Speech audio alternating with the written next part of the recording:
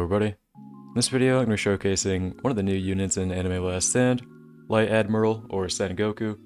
This unit is part of the Raid Part 2 update, and you can get them from Act 5 or Act 6 raids of Marineford. To evolve them, you're going to need a bird, and him, and then 40 spirit shards. The bird you can get from Act 4 or Act 5 in Marineford raids, and I don't know the exact chance on these, but you can see I got a double. So yeah, I think it's pretty easy to get them.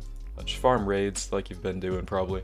But yeah, I'm to showcase the unit. I do have Shinigami on him. Yeah, let's get into a showcase. Hope you enjoy.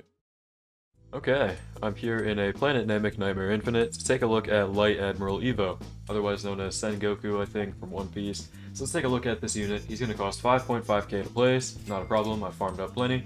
And on placement, wow, we can see his Buddha coming in. Buddha statue, I think that's a Buddha of some sort. Um, okay, pretty cool. He's doing 29.7k every 6.75 seconds with 16.5 range.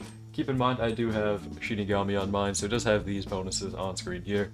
So, yeah, this is a level 1 no skill tree showcase though, and these are still impressive stats for a level 1 unit. Let's go ahead and keep upgrading them here. Boom, boom. Okay, upgrade 3, he's going to get a new attack, Holy Beam. Gonna cost 6k, let's go ahead and take a look at that. So he is a cone AoE, what was the up placement cone? He was a line before. Okay, so he went from line AoE to cone AoE. And he's doing 52.3k every 7.65 seconds with 25.3 range. He is hybrid. I didn't pay attention. Is he hybrid on placement? He is. He's hybrid on placement. Okay. And he is now a cone AoE. Uh, can we see if he's a multi-hit? It looks like it, yes. So he is a multi-hit, which is good because if you didn't know, they kind of buffed multi-hit units with the new update. Alright, let's keep upgrading him here.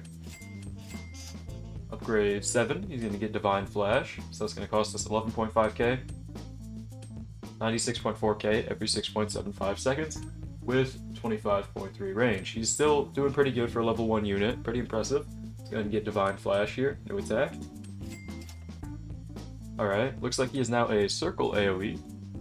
A pretty large circle though. And he's doing 118k every 7.65 seconds, 29.7 range. He is still hybrid. Let's go and take a look if he has a passive. He does. He has cripple. Okay, what that's going to do is it's going to slow down enemies and make them take more damage.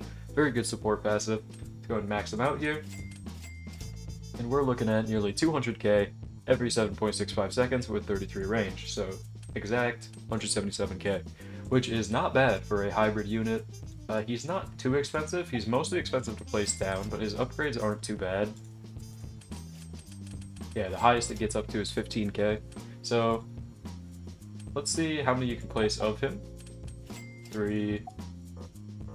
Three. Okay, so you can place up to three Sengokus. By the way, there's that glitch. Uh, and he actually has very nice stats. He's pretty cheap, except for placing down. And, uh, very nice support, I'd say. Well, that's going to be it for this video. I hope you guys enjoyed. If you did, maybe consider subscribing, because I upload content pretty similar to this almost every day. But yeah, thank you for watching. Hope you enjoyed. Hope to see you in the next one, and have a great day.